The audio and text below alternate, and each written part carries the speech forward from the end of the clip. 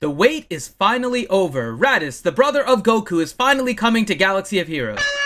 The Raddus, insert corny joke here, is now coming to Galaxy of Heroes. That is the capital ship that was captained by Leia Organa and then later by Vice Admiral Holdo is now coming and we knew that it was coming. We know that the finalizer is coming, but today we got some information on what is going to be required in order to get the ship and not only what is required, but how we are going to obtain the ship. So let's go ahead and get started as we dive into the Raddus.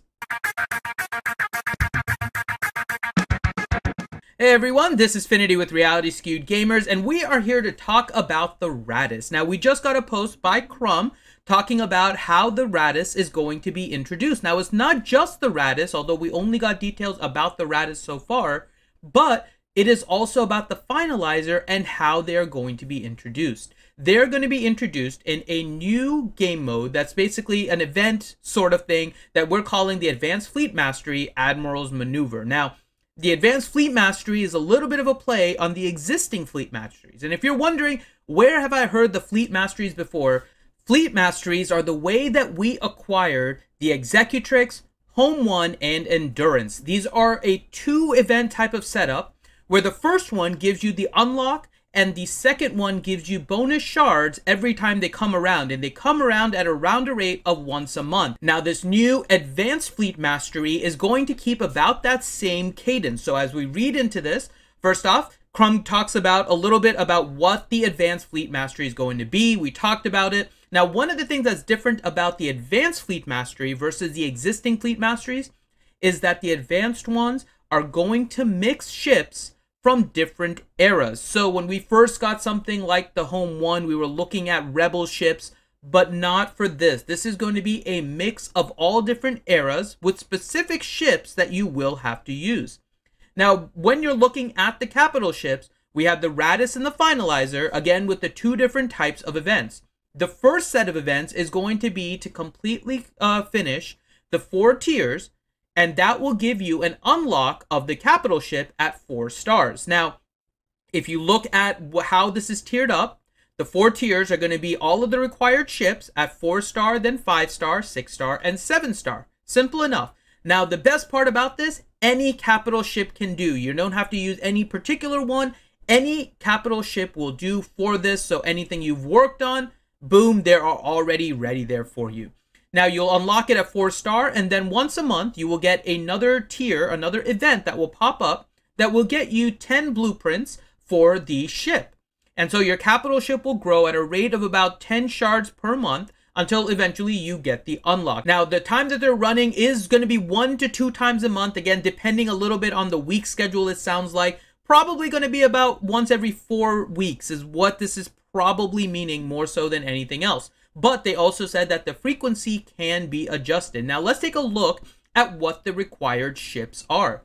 The required ships for the Raddus are Rey's Millennium Falcon, Resistance X-Wing, Poe Dameron's X-Wing, Houndstooth, Ebon Hawk, Ahsoka Tano's Jedi Fighter, and Lando's Millennium Falcon. And let's take a look at what's really going to be entailed in getting this capital ship. When we take a look at which ships are going to be needed, a lot of these ships are already ships that hopefully many of you are working on. Houndstooth is still pretty much the gold standard for tanky ships. If you're not working on it, this is a good one to work on.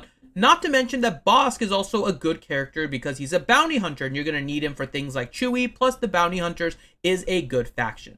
So this is a ship that actually should be one that you're farming and should be pretty simple.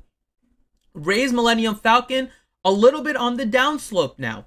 It never really had a great place in the ships. However, the two characters involved, Stick Rey and OG Finn, they both used to have a place but are now shifting away as we're getting more resistance characters and unsure where they're going to fit in. So how much you're going to need to actually get the Raddus, we'll have to see. Typically, it was not too high in terms of the requirements, but the advanced mastery is going to be different than the regular fleet mastery, so we don't know what is going to be needed in terms of gear and level of the ships. So get ready to potentially work on these a little bit, but maybe even something less than what I have on mine right now, which are gear 11. You may be able to get by with less than that if you max out the rest of the ship. Lando's Millennium Falcon a great reinforcement ship. One of the best to bring in in the fourth spot because of all the bonuses that it gets with his reinforcement. Lando's Millennium Falcon, one that is worth working on. Now, for the pilots of that ship, young Lando is a little bit of a niche character, but L3 is a pretty good tank. So again, one of these where you can work on the character and the ship at the same time and get an overall benefit to your roster.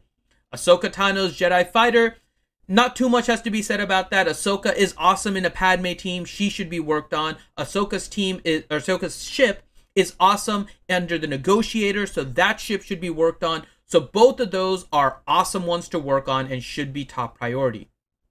Ebon Hawk, the character is a little bit of a lower priority, and also a decent reinforcement for the Ebon Hawk as well. May not be your most utilized, but you can find purpose for it May not be the best one for you to farm immediately, but if you're trying to go for this, get it to 7 star and then let's wait to see what the gear requirements are going to be on the characters to really push your chips through to get the Raddus.